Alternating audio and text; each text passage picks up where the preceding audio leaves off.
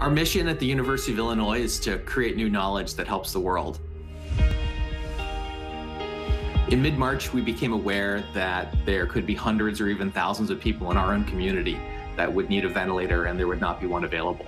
We brought together such incredible brain power engineers, physicians, designers, and we decided to pursue a device that was sophisticated enough to provide the breathing support for a COVID patient if necessary.